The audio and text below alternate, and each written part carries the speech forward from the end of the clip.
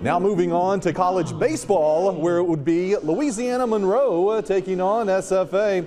In the first inning, Jacks uh, looking to jump ahead early, and with a man on second, a deep fly ball to the outfield would get lost in the lights, and SFA finds themselves with two men on.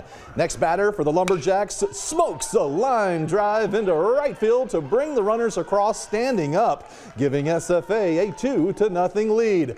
But Louisiana Monroe would strike back hard later in the game to win it by 10 run rule in the eighth.